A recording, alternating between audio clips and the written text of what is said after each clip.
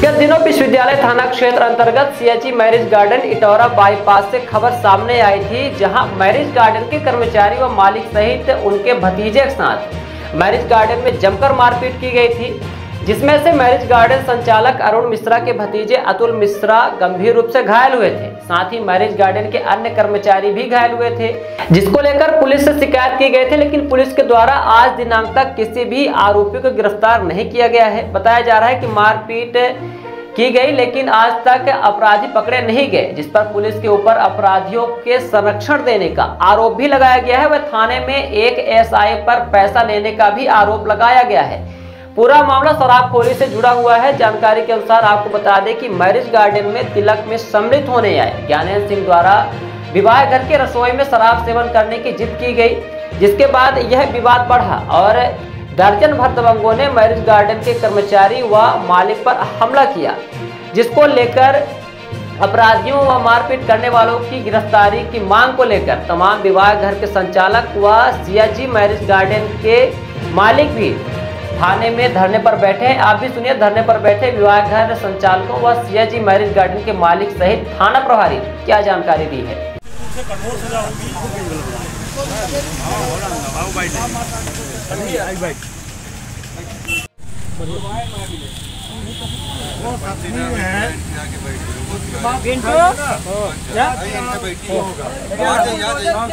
सबका उठा ले अरे अपना पंच अहम ग्राम पंचायत के बैठी है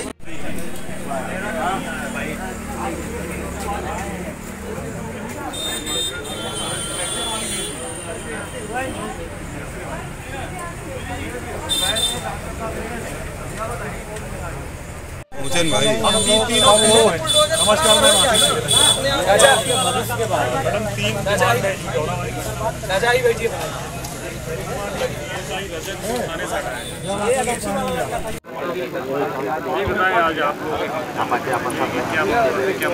अभी विगत चार दिन पहले सियाजी मैरिज गार्डन इटौरा में कुछ असामाजिक तत्व अपराधी प्रवृत्ति के, शायद दारू या हौली सौली या पैकारी का काम करते हैं, जैसा जानकारी मिली है, वो रात में करीब साढ़े ग्यारह, बारह बजे सियाजी मैरिज गार्डन प्रवेश किए और वहाँ पर सियाजी मैरिज गार्डन के संचालक अरुण गौतम जी से मारपीट किए, उनके वर्कर महेश साहू से मारपीट किए। उन्हीं के घर के बगल में, सियाजी मैरिज गार्डन के बगल में अतुल मिश्रा का घर बना हुआ है। जब उनने हल्ला, गुहार हल्ला गुहार मारा तो वो सो रहा था, सोकर उठा बाहर तो जैसे ही गार्डन के गेट के पास पहुँचा तो आए उसको लाठी डंडा से मारने लगे और वो भगा अपने घर। तो घर भगा तो उसको घर से निकाल करके लाए और बाहर रोड तक इतना मारे हैं बेदम पिटाई की है उसकी। और आज भी वो एडमिट है हॉस्पिटल में उसकी छुट्टी नहीं हुई उसकी स्थिति गंभीर बनी हुई है। अरुण गौतम अरुण गौतम जी का हाथ फ्रैक्चर हुआ है।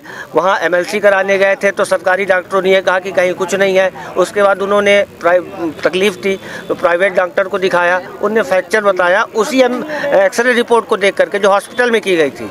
और फ्रैक्चर पाया गया प्लास्टर प्लास्टर कटा हुआ है। राजा गौतम अरुण मिश्रा जी के बालक हैं। जो वर्तमान में इटौरा के उप सरपंच भी है उपेंद्र मिश्रा नाम है उनका।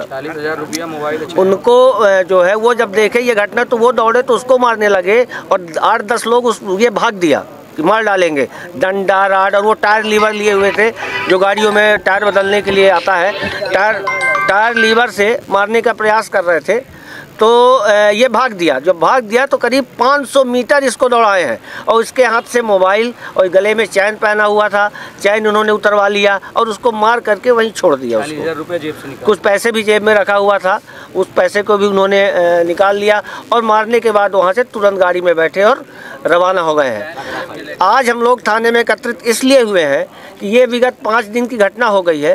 थाने द्वारा किसी तरह से गंभीर अपराध ना मांग करके कोई ऐसी प्रक्रिया नहीं की गई है जिससे इन लोगों को न्याय मिल सके। इसलिए मेरा निवेदन ये है कि यहाँ जो एस आई रजक हैं, रजक जी का, रजक जी ने कुछ पैसे की मांग करी थी एफआईआर दर्ज करने के संबंध में, उनका यहाँ से ट्रांसफ़र हो, यहाँ से हटाया जाए, लाइन हटाया या जो भी किया जाए, ये ऊपर एसपी साहब का काम है। दूसरा जो सर्चिंग की प्रक्रिया की जा रही, वो सुनियोजित या अच्छे तरीके ढंग से नहीं की जा रही है। जहाँ के ये अपराधी हैं, सारे डिटेल थाने में मौजूद हैं। उन उनके यहाँ पुलिस जाए और सर्चिंग करे। तीसरी, तीसरा काम ये है कि जो धाराएँ हैं धाराएँ नहीं बढ़ी हुई हैं, जो हम लोग के साथ घटना हुई है, लूट हुई है, चैन लूटा गया है, पैसा लूटा गया है, उस संबंध में कोई थाने द्वारा कार्रवाई नहीं की गई है। हम लोग ये बैठे हुए हैं कि इस संबंध में यदि तुरंत कोई सुनियोजित कदम या तुरंत गिरफ्तारी नहीं हुई या तुरंत धाराएँ नहीं बढ़ाई गई तो यहाँ लोग जो बैठे हुए हैं, वो शांतिपूर्ण ढंग से यहाँ अपना प्रदर्शन कर रहे हैं। हमें किसी प्रकार से कोई ना उग्र होना है, ना विरोध करना है केवल शांतिपूर्ण मांग हम लोग रख रहे हैं। अगर आज 24 घंटे के अंदर ऐसी कोई कार्रवाई नहीं होती तो ये सारे ग्रामीण दो दिन के अंदर थाने के सामने बैठकर आत्मदाह करेंगे। नाम? मेरा नाम अखंड तिवारी है मैं ग्राम टिकरी का हूँ इटौरा के पड़ोस में है। धरने में बैठे हैं विश्वविद्यालय थाने में। क्या किन मांगों के लिए आ, मैं बारात घर एसोसिएशन में सह सचिव हूँ शिव मंडप मैरिज गार्डन है मेरा। और चाचा जी का बारात घर है शिया जी मैरिज गार्डन। दस तारीख को रात में मारपीट की गई। कुछ असामाजिक तत्वों द्वारा अंदर घुसकर मारपीट गई और जो गले में चैन वैन पहने हुए थे मोबाइल पैसा सब लूट के लेके भाग गए यहाँ से।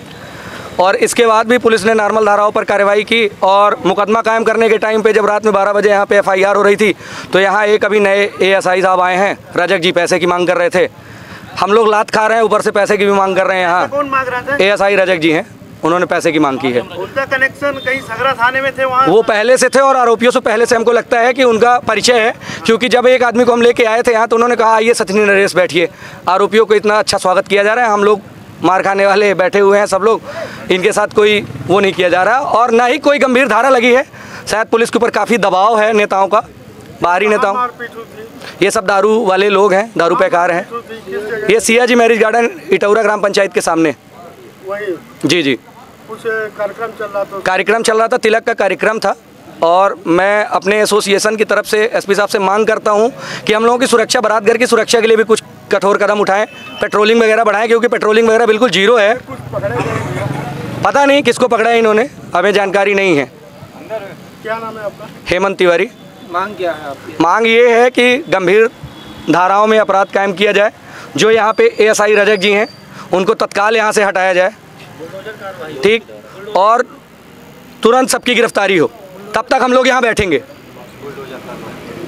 अगर आरोपी नहीं मिल रहे तो उनके घर में बुलडोजर कार्रवाई की जाए। हम लोग बैठेंगे क्योंकि बहुत देख लीजिए सामने उधर भी कैमरा कर लीजिए इतनी चोट लगी हुई है। एक आदमी अपना एडमिट है अंदर छोटे सा बच्चा था उसको भी मारने का प्रयास किया इन्होंने पाँच साल के बच्चे को। अपराधियों का क्या नाम है? अपराधी हैं बहुत सारे लोग हैं इनका नाम पुलिस से आप ले सकते हैं। सूची दे दी जाएगी आपको। नाम की पूरी सूची लोगों का नाम है। नरेन सिंह हैं और ज्ञानेन सिंह हैं कुछ पूर्णेन्द्र सिंह ऐसे कई लोग हैं इसमें। हैं? ये सब इधर ही सगरा साइड के हैं। जी। आ, द- दिनांक 10 जुलाई 2024 को इटौरा ग्राम पंचायत अंतर्गत सियाजी मैरिज गार्डन में मारपीट की घटना हुई है। जिस पर एफआईआर रजिस्टर्ड की गई है। पीड़ित पक्ष का ये कहना है कि इसमें आरोपियों की गिरफ्तारी जल्द से जल्द हो और कठोर कार्रवाई हो।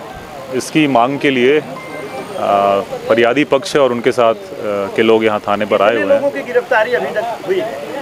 अभी तक जो है इस मामले में दो लोगों को अरेस्ट किया गया है और बाकी जो चिन्हित आरोपी हैं उनकी पता तलाश पुलिस कर रही है। और जल्द से जल्द उन पर हम गिरफ्तारी कर लेंगे। कौन सी धारा लगाई गई है? धाराएँ जो हैं वो बढ़ाई जा रही हैं। जिस प्रकार के अभी साक्षियों के कथन हो रहे हैं मेडिकल रिपोर्ट कलेक्ट की जा रही है। जैसी जैसे साक्ष्य इसमें संकलित होंगे उसी प्रकार की पुलिस पर आरोप लग रहा है कि नेताओं का संरक्षण है दबाव है। नहीं नहीं अ, इसका मैं खंडन करता हूँ ऐसा कोई दबाव नहीं है। सर्व सुविधा युक्त नेशनल हॉस्पिटल समान तिराहा रीवा में। अब कैंसर का सफल उपचार और ऑपरेशन की सुविधा उपलब्ध है। हमारे यहाँ मिल रहा है आयुष्मान भारत निरामय योजना का लाभ। आयुष्मान जन आरोग्य योजना के तहत सभी प्रकार के मेडिक्लेम की सुविधा उपलब्ध है। हमारे यहाँ लेजर कैंसर, अस्थि रोग, एंडोस्कोपी, लेप्रोस्कोपी एवं प्रसूति रोग का अनुभवी चिकित्सकों के द्वारा उपचार किया जाता है। कैंसर के इलाज एवं ऑपरेशन अब रीवा के नेशनल अस्पताल में उपलब्ध है। नेशनल हॉस्पिटल के संचालक डॉक्टर अखिलेश पटेल के द्वारा उपलब्ध करवाई जा रही हैं सभी सुविधाएँ। आयुष्मान से संबंधित किसी भी प्रकार की जानकारी के लिए संपर्क करें। मोबाइल नंबर नौ छ नौ एक दो आठ आठ पाँच छ शून्य पर या फिर संपर्क करें सात पाँच छ छ आठ तीन एक पाँच पाँच एक पर। हमारा पता है नेशनल हॉस्पिटल समान तिराहा रीवा। संपर्क करें शून्य सात छ छ दो, तीन पाँच नौ नौ सात चार पर। या फिर संपर्क करें आठ छः शून्य दो आठ आठ पाँच नौ नौ शून्य पर।